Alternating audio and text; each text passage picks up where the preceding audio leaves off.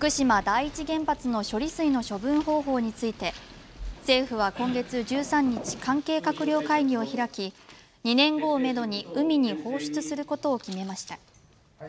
これを受けて県内の農林水産業団体と生協で構成される団体地産地消福島ネットは今日会見を開き